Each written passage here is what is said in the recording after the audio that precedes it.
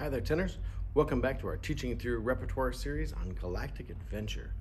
This is part three of the series. Part one, we went over the whole piece and talked about all the concepts. Part two, we went over the first 12 bars, and this time we're going to go over measures 13 to 22. So we're going to clap and count all our rhythms, we're going to say all our note names and do the fingerings, and then we're going to play through it. Do each section as many times as you need. Slow it down using those controls on YouTube as much as you need until you feel really confident about each part and then put them all together. And when you're confident with this whole video, then you can go on to part five. So let's start, uh, let's refresh real quick. 13 is vigorously. So that's our faster tempo. If you're using your own metronome, we're gonna go 132. It's gonna set it to 132. Uh, I will put it on when we play through it. While we clap and say note names, we'll just go with me. So here's one, or here's 13. Vigorously, we're gonna clap and say our rhythms using our takadimi, our tas and our tadis. 13. One, two, uh, one, two, three, and ta, Rest, rest, rest. ta, ta, ta, ta, ta, ta, di, ta, di, ta, ta, ta, di, ta, di, ta, ta, ta, di, ta, di, ta, ta, ta, ta. That's the end. That's as far as we're gonna go for now.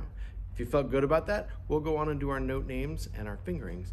If you weren't sure about some of that, you aren't sure what some of those symbols mean, you can back that up, you can do it again, or if you're not sure about the ideas, go back and watch the first video to make sure you know what's going on here. When you're ready, we're gonna go on, we'll do our note names and our fingering. Same section, same idea. 13, one, two, uh, one, two, say your names. D, two, three, four, D, two, three, D, two, three, four, E, C, D, D, D, E, E, F, D, A, A, G, G, F, F, D, D, E, E, F, E, C, D. How'd you do? It's a lot of notes, and some of those eighth notes, hard to say that that fast. Do it slowly until you're comfortable with it and you can get that all out in time, in rhythm with me. When you're done with that, then you'll be ready to go on and try playing it. Remember, you can slow that down too. Even saying the note names, you can slow it down. It's okay to go as slow as you need to get really comfortable with it. When you're ready, let's go ahead and play that section. We'll turn our metronome on. We'll play from 13 to 22. One, two, uh, one, two, three, two, three, and two, three, four, two, three.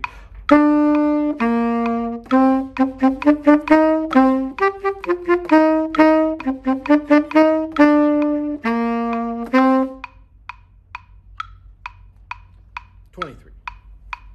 How'd you do? Not too bad little section there. Did you feel good about it? Did you get all the notes right? The right length, the right notes in the right spot? All that stuff's important. Did you remember what the accent and the staccato were? Did that make sense when I played it? Did you match what I was doing? If not, do that over and over again. Slow it down and try to get really good with those articulations, especially. The notes probably aren't too bad, but they move fast.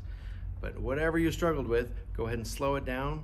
Do it several times until you feel really good about it. If you weren't sure about some of the things that I played, or the notes, or the, anything about that, go back and watch that first part of this series again, and you'll get all those concepts and you'll be ready for this. When you feel good about it, great job, good work. We're gonna go on and I'll see you next time for part four.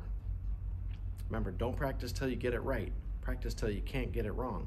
Until then, happy noodling.